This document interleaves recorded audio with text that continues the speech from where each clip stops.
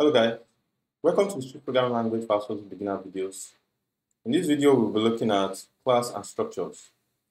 Class and structure they enable us to build our own custom type that encapsulate data. In, in structure and class we can define the properties and method and method to add functionality to our class. And in this video we will be looking at how we can define our classes and also structure. We'll look at creating an instance of a class we'll look at how we can access properties and methods in a class. Without further ado, let's move into our Xcode. Now in Xcode, we are going to start with struct. How do we define a struct? So to define a struct, we will, what we'll do is we use the keyword struct and we give it a name, any name. So we can call this some struct, struct, and then we introduce our curly braces, and then we can put some properties and method inside, and also an initializer. For this, for example, I can just put a, let just put a property, let me call this property of type constant, let me call it let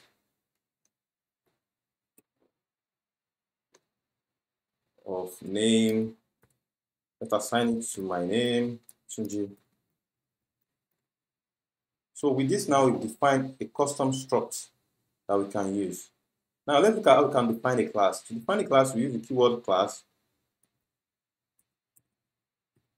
And we can also call this some class. This could be any name, depending on what you want us to achieve. And then I'm going to give this another property. Let me call this var of age. Let me assign it let me assign this so I can avoid initializing this. So assign this to 40. Now, we've defined our classes and structure. Now, how do we create an instance of these classes? That's how do we instantiate these classes and structure? To instantiate a structure, for example, what we do is this. Let me assign this to a variable, a constant. Let's say let some struct, all lowercase, be assigned to some struct. And let's, so now we create an instance of that. So I cannot print this to the console. I can say print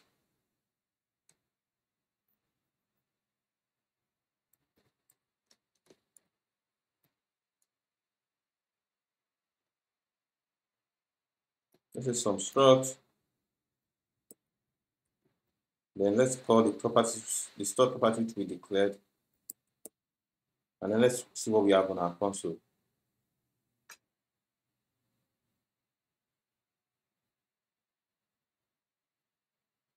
Now we can see that we now have my name, which is Tunji.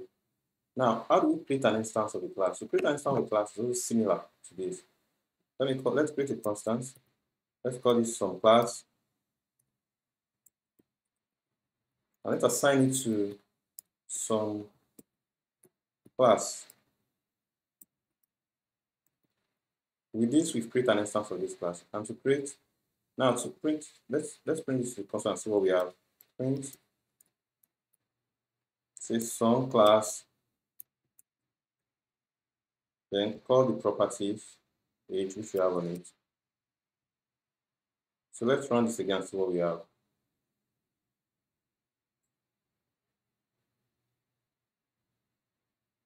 Now we can also we have 40 and 80. Now, one thing I've not said is struct has this has this feature of member-wise initializer. So for example, if I don't initialize this, I don't have to declare an initializer explicitly. So let me remove this my name. Let me not initialize it. Then it's going to require me to, to pass to initialize it when creating an instance of that class, uh, of that struct. So if I create, I have to put name, and then assign it. So here now I can now declare the name. Again, let me use my name, Tunji. So if you print this to the console, we should have the same thing. But you can see that we don't we didn't actually declare any custom initializer in this. Okay, sorry, we have an error. Okay. Oh, sorry. Supposed to declare the type of this. Supposed to declare the type since I didn't assign it.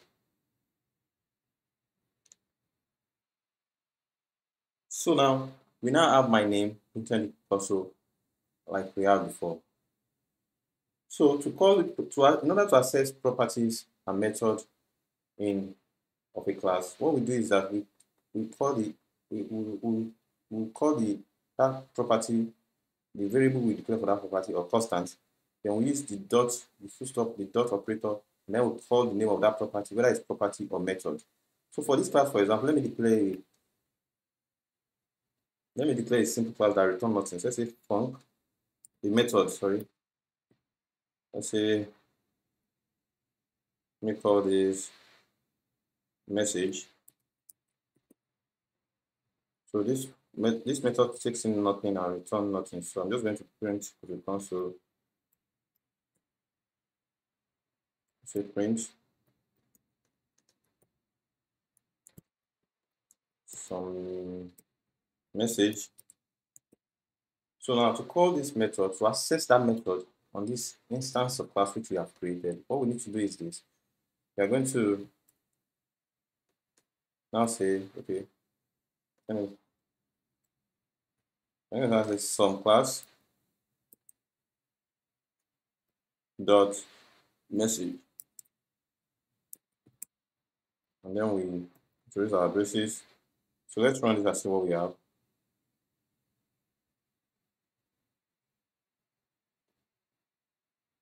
So we can see now some messages on some message on printed to the console. The console.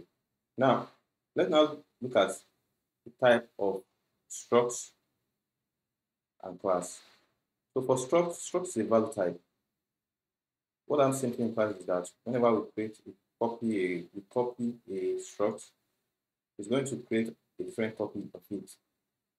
Why classes are reference type?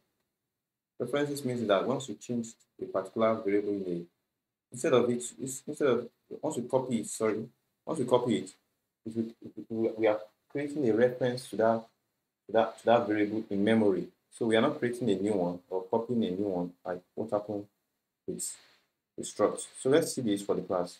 So now we've declared a class. Let me create another class. Let me say, let me declare another constant. Let me just say some class 2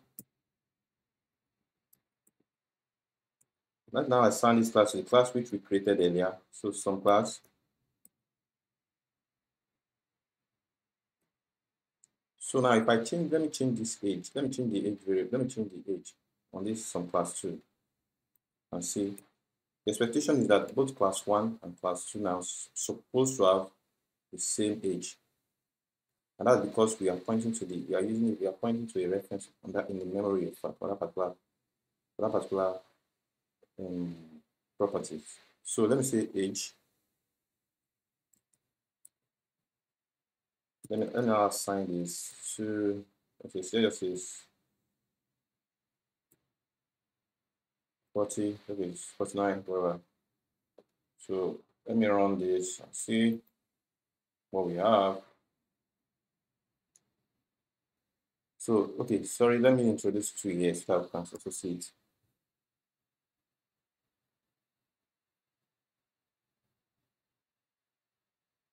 So you can see it's also 49. So basically, what's our reference type? So guys, this is the end, the end of this video. Please don't forget to subscribe, leave a like button, share. See you in the next video.